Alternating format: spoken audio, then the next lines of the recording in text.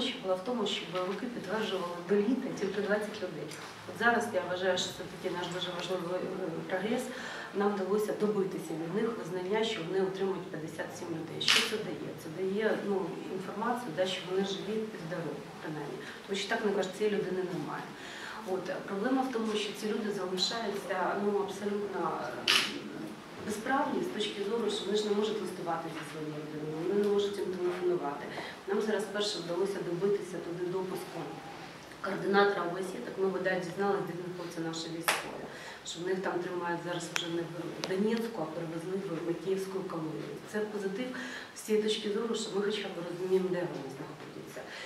Звичайно, ми готові до дуже широких компромісів для звільнення заручників. І е, єдине, що от вони весь збільшують цей список, говорять, ну хорошо, ми вам підтверджуємо 157, але віддамо 45, а ви за це нам маєте віддати 731. Надають такий список на останній якому там половина людей взагалі не має жодного відношення до конфлікту на Донбасі. Там є вбивці, там є ті, хто, наприклад, причетні до терактів організації в Одесі чи в Харкові.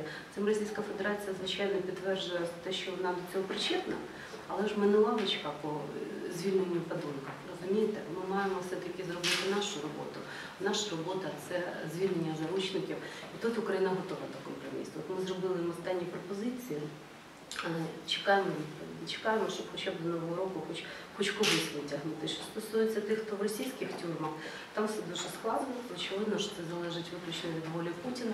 От з Романом Сущенка, думаю, що це взагалі все дуже складно і не на один день.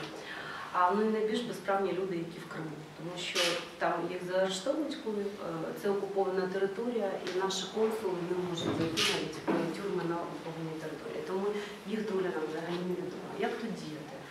Е, В першу чергу посилювати тиск світу. Тому насправді наша тактика, що ми зараз маємо дипломатично, ну ви бачите, ну, крок за кроком дуже важко.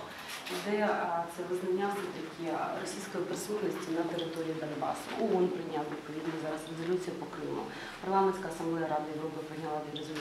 У нас дуже важка кон'юнктура, наприклад, там світова. Путін це ж теж враховує. Він, наприклад, очевидно, що чекає там виборів во Франції, тому що він розуміє, що наступний президент Франції займатиме більш лояльну позицію. Значить, в нормандському форматі він може бути ще більш е, розкутим Путін. Все це е, ну якби б'є по Україні, але з іншого боку, ми формуємо нашу таку коаліцію антипутінську, дипломатичну. Це непроста історія і довга розмова. От ну такі, бачите. Зупиняти ми маємо ворога в першу чергу дипломатичним шляхом, тому що військовим очевидно, що наша армія дуже сильна зараз, набагато сильніша ніж два роки тому, але проти нас воює найсильніша армія світу. І е, якщо е, вони вивозять там своїх е, загиблих, навіть не оповіщаючи про це рідних, то Україна дорожить життям наших солдатів, і ми не можемо так кидати топку людське життя. Тому тут важливо діяти політичним і дипломатичним шляхом. Я дякую вам за це запитання, воно правда дуже важливе, але як тут проста людина от може допомогти? Да? Очевидно, що так само, якщо бувають зустрічі з дипломатами, раптом прийдуть до вас дипломати, там, да? нашими іноземними там, партнерами, політиками іноземними, чи там, я не знаю, журналістами, питання заручників має стояти в кожному, в кожному нашому виступі, в кожному спілкуванні доноситься ця позиція, що світ має тиснути на Росію для того, щоб ми звільнили заручників. Добре? Удачі вам всім і всього самого найкращого.